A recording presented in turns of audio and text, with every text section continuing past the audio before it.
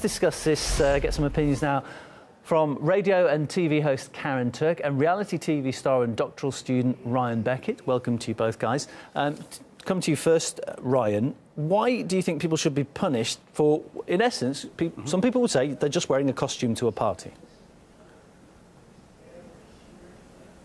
Well, I think that you have to be sensitive to the actual group that the people are dressing up as. Rather than listening to ourselves, we should listen to the group that's being dressed up as. And I think that that's an important thing. And I think that kids, universities, professors, they don't have to be tone deaf and they can actually listen to the actual group and listen from them actually what's offensive or not offensive. And I think that's the right way to approach these issues. Okay, same question uh, to you, Karyn. Is it fair to punish students' Halloween costumes? I mean, you would have thought this is an occasion when people are going there in a positive spirit to have fun.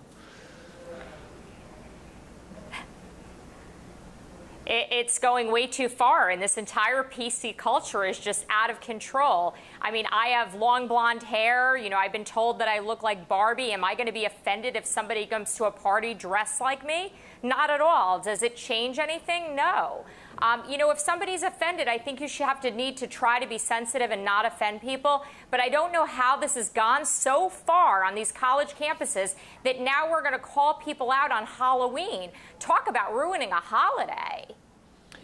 Uh, Ryan, does, is it, this is an important element, I think. Um, you talked about offence being caused. It, does there need to be an intention to cause offence? If someone goes there and, and they're not intending to cause any offence, but they cause offence, does that mean they've crossed the line? Well, I, I, actually think that Karyn and I can find some common ground here. I, I, think that free speech is one of the things that our country holds near and dear. And Berkeley University, for example, used to be the ex prime example of free speech. And now they've censored Ann Coulter, even Bill Maher, a liberal. He's called people out. So I agree with Karyn when it comes to the costumes that you know we got to be careful here, and we we really got to get this right. I think that there can be a balance that's struck between being sensitive to a group not going too far beyond the pale and to actually still preserve some level of free speech. And I, I do agree with Karyn, it has gotten a little out of hand, and we need to be real careful about that.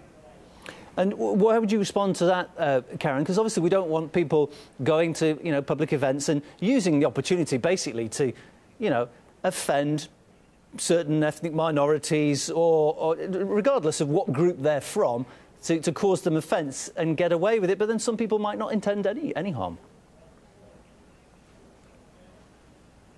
Well, and you can look at this, you can take this to the other level, and I'm really happy to hear Ryan say this, you know, being somewhat on the other side of the aisle. And I think we have to stop being so sensitive. I mean, I've been told before that me wearing a Make America Great Again hat is offensive. So where do we draw the line? I think that's where we have a very clear problem. You know, and somebody coming to a party with blackface, I understand, I think we all know at this point that that's offensive. But if you go back 30 years ago, even if people were offended by it back then, they didn't talk about it the way that they do today. And I'm glad that we have some guidelines and that people are speaking up when they're offended. But we also can't take it to the level where we just say, oh, well, you know, your Donald Trump hat offends me, so therefore you can't wear that. And what scares me about this topic is I feel like when we just say Halloween costumes and we have college students talking about what's offensive, we really don't even know where the guidelines are anymore because we're living in this PC culture that sometimes really doesn't make a lot of sense.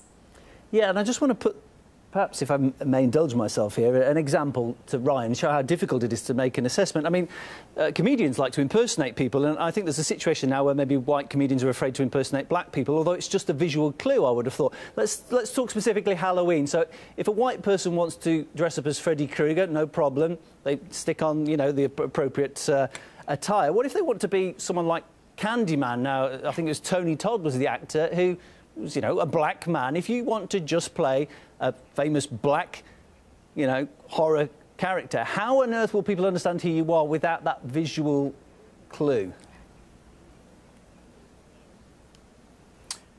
I think it's a great question. I, I, think that personally, I would probably just stay away from it because you have to ask your, yourself the question: Is the squeeze worth the juice?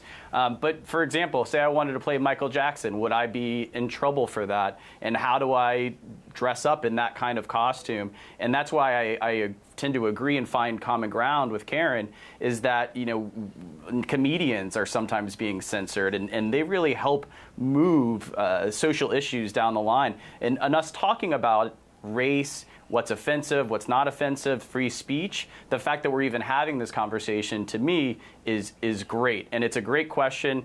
Um, I tend to it's one of those things you just kind of leave it alone. Um, I went to undergraduate at Florida State University, and the NCAA was cracking down on mascots. And we had a Native American mascot, the Seminole Indian tribe, and the Seminole Indian tribe told the NCAA they didn't want us to get rid of our mascot. They thought that we did it in a respectful way. They actually penned a letter to the NCAA um, asking us uh, to be continued to allow to do it and actually is one of our largest boosters for the Florida State Seminoles. So that's an example where academia, the actual group that's being used as a mascot, can find some common ground too. And it's giving, I think, some good PR for the Seminole Indian tribe. And we have a guy who's not an Indian that runs out to the, on the football field before a football game and throws a spear. And we've found some common ground, and, and I guess it goes back to the intent of the representation. Yeah, and it's very difficult to kind of, you know, decipher what someone's intent is at the time. Karyn, um, I don't think there's any doubt that discrimination uh, occurs in every country around the world, and there's a lot of racial discrimination. And is that part of the problem now that we've got to a point in time where it's, it's a reflex action from people who, you know, have been discriminated against before they even like assess a situation? It's like, okay, you can't do that. You're being offensive with, without really assessing the individual cases.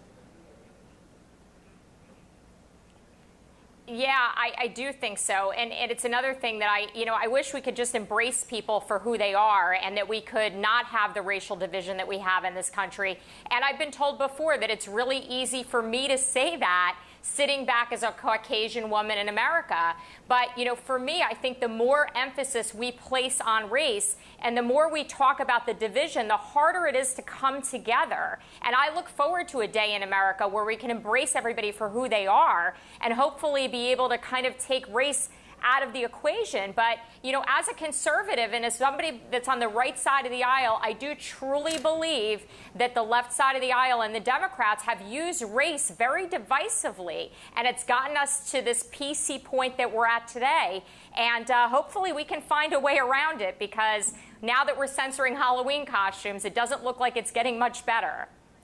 Uh, the big question to me is if you're going to punish people for being offensive, and maybe it was intended, who, who decides this? I just want to give you an example, if, again, if I may, Ryan. This is a real one. This was a UK TV boss, I think it was an ITV executive, dressed up as the, the Saudi executioner of Jamal Khashoggi, the journalist, for a Halloween party. This was last year, including holding a, a, a severed hand. Um, a lot of people found that really poor taste. Now, who decides if that person should be punished, lose their job, be fined? Yeah, that's tough. I mean, it, you get to a polarizing issue with that. I mean, that's freedom of speech journalism, and, and he was executed in a, an embassy in a, a NATO country.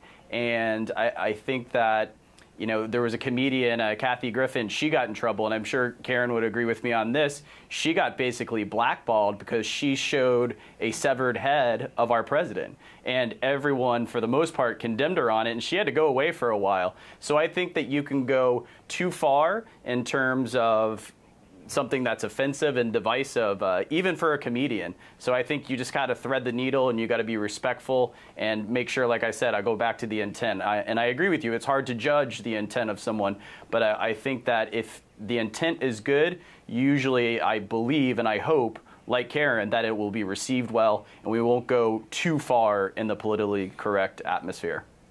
Yeah, Karyn, things have, have, changed a lot even during my lifetime. I'm middle-aged and uh, it, the world's a new place and it seems like America is like kind of right at the forefront of this sensitivity. Who, who's driving this change in perception of what's culturally acceptable? Is it, is it the media? Is it coming from uh, partic particular rights groups? What, how, where's it coming from?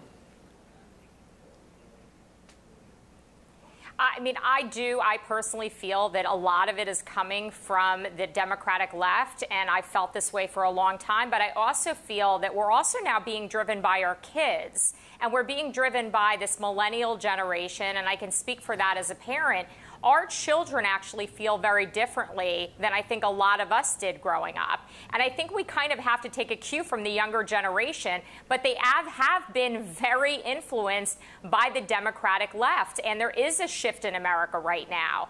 And I, you know, I don't like it. I'm not crazy about what's happening, but they are going to be the future leaders of America. And one of the things that I think will be very interesting to see if this changes is as these millennials come into their own and they become the financially driving force and the economically driving force in America, it'll be interesting to see that if a lot of them shift to capitalism, because a lot of them are talking about socialism right now, and it sounds like a great idea, but I don't know if they're going to feel the same way when they're taxpayers. So that's going to remain to be seen. And I, and I think some of these social issues may shift as this millennial generation gets a little bit older and as they get more involved in the workforce. And final question to Ryan, if I may. Uh, I want to talk about freedom of speech because it's one of the greatest things a lot of people say about the United States, but also some say it's, it's something of a weakness that can be exploited by people. It's, it's, a country where people feel free to completely character assassinate the leader of the country, the president. Um, is this an attack, this you know, policing of how people dress up? Is that, is that an attack on freedom of expression? I do think it's somewhat of, a, of an attack on freedom of ex expression. I'm more on the left side uh, of the aisle, and I do think it's, a, it's an attack. I mean, I think that it's important to question those people in power, whether it's a Republican or a Democrat in office. I think it's important to have an adversarial press that's asking tough questions and not layup questions. I think it's important. And our freedom of speech, uh, journalism, all of that is something that you know any democracy should, should hold up and, and, and really respect. And we should be able to have freedom of speech and question the people in power, no matter if it's someone from the left or the right, in my opinion.